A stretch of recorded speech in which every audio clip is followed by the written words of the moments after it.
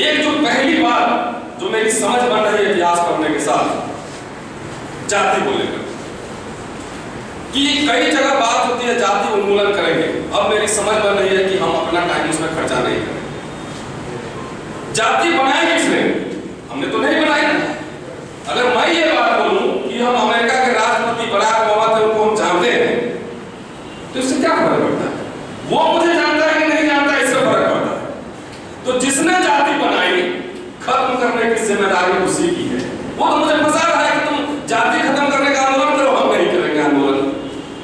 साथियों, जाति बनाई है ब्राह्मण सिद्धांतकारों ने, पढ़े लिखे लोगों ने।